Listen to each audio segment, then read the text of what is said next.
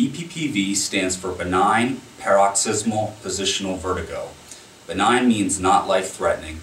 Paroxysmal means it tends to recur. Positional refers to head position, and vertigo is the illusion of spinning. BPPV is the most common cause of inner ear related dizziness. Now, in our inner ear, we have a hearing organ and we have a balance organ. Inside the balance organ, there are tiny hair cells that detect gravity. Overlying these hair cells are tiny calcium particles or crystals. Now, as we mature, following a head trauma or sometimes with a diseased ear, these particles tend to break loose and can fall and migrate into one of the balance organ's canals.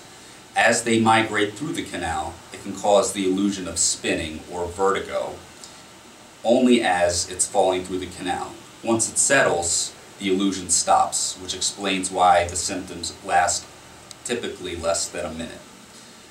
Positions that can trigger this are usually sitting up from bed, lying flat in bed, rolling over in bed, bending the head forward, and pitching the head back. BPPV is typically treatable and is treated by positioning the head in certain ways to migrate the crystals from the canal back into the sac where they originated and will hopefully readhere to the hair cells.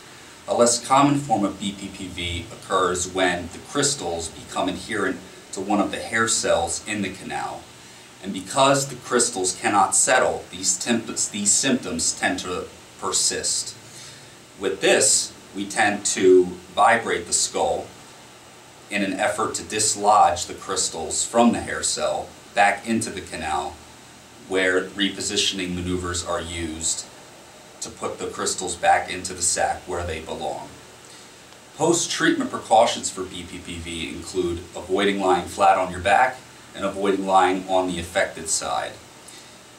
Now, BPPV is treatable, but it does tend to recur in about 25% of patients within a one-year period and 50% of patients within a five-year period.